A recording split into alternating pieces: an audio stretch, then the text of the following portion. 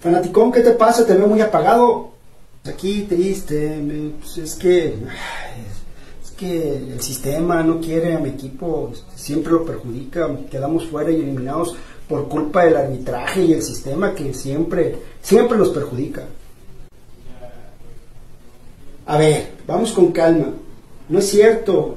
El año pasado tu equipo ganó y hubo errores arbitrales. ¿Ahí qué me dices?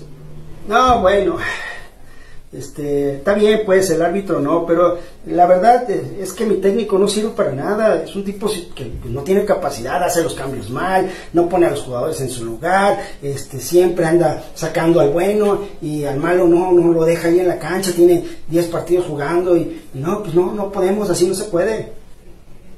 Ahora resulta que el técnico también no puede ser fanaticón. Tu entrenador te llevó a la final el torneo pasado y estabas festejando y decías que es el mejor. Ahora sucede que sabe menos que el año pasado con la experiencia que acumuló.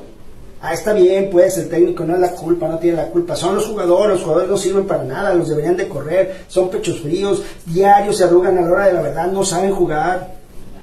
Ah, ahora tus jugadores y tus compañeros y de equipo, estabas festejando con ellos, decías que eran los mejores y hoy porque perdieron un partido ya no saben, son pechos fríos, por favor no digas ese tipo de cosas que de verdad solamente demuestran que eres un fanático.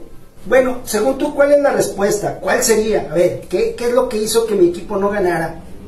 Bueno, para mí la respuesta es más sencilla, fanaticón. El rival fue mejor que tu equipo. El rival lo superó. Hoy fue mejor y ganó porque hizo mejor las cosas en la cancha. No, no, no, eso nunca lo voy a admitir. Jamás voy a admitir que el rival deportivo es mejor que mi equipo. Jamás. Eso nunca va a suceder. Siempre hay algo alrededor. No, no, no. Mi equipo siempre será el mejor y pierde porque otras cosas suceden, no porque sea malo, no porque el menos que el rival lo supere. No, eso jamás va a suceder.